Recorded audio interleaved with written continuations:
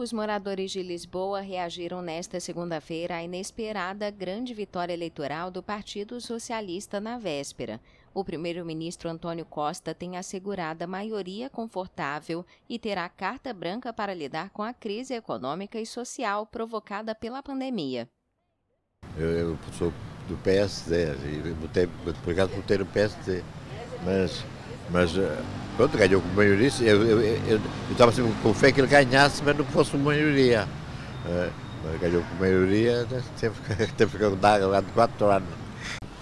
Bom, acho que é, de certo modo, a vitória do bom senso e da continuidade das políticas que nos têm trazido até onde estamos e quero acreditar que será um passo para a recuperação económica e social depois da pandemia e da crise económica para os portugueses, para todos, sem exceção.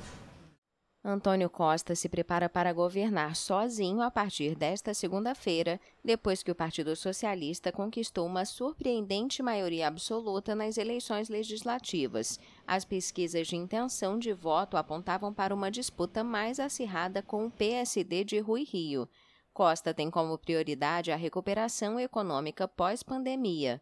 Com 117 das 230 cadeiras do parlamento, seu partido não vai encontrar problemas para pôr em prática o que achar necessário.